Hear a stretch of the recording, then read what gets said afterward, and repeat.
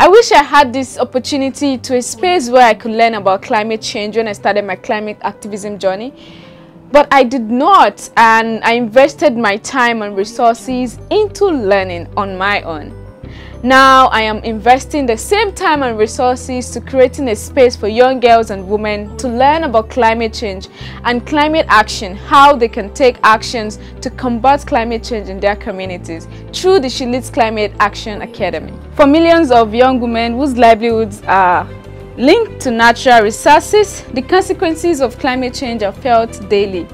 As climate change intensifies, women will struggle the most. In fact, the Paris Climate Agreement includes specific provisions to ensure women receive support to cope with the hazards of climate change. In Nigeria, where I'm from, where I live, where I was born, the impact of climate change caused many people, especially women, to migrate due to insecurity and poor farmland, resulting effect of the impact of climate change on people's livelihoods, which puts girls' safety at risk. Many girls do not have access to clean water and proper sanitation during their menstrual period.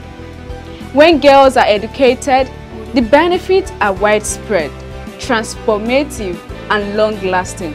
In order to unite girls and women to take sustainable action starting from their local community. I launched the She Leads Climate Action Academy. Educating young girls and women serve as a powerful tool and strategy to combat climate change. A lot of women do not have access to their own farmland to farm and a lot of them rely on raining season to farm because there is no access again to water. Many of these issues have led to young girls and women being prone to gender-based violence. The She Climate Action Academy is the innovative solution to achieve this purpose. We're targeting 37 young girls and women every year per cohort to serve, learn, train and get empowered on climate change and how to take climate action. They each come up with projects to help them solve a particular climate issue in their community that will be funded by our founders. I hope you join us at She Leads Climate Action Academy as we empower, train and educate young girls to learn about climate change and come up with climate action solutions while also transferring the education around climate change amongst their peers in their community. My name is Baliqees Salaudeen. Thank you.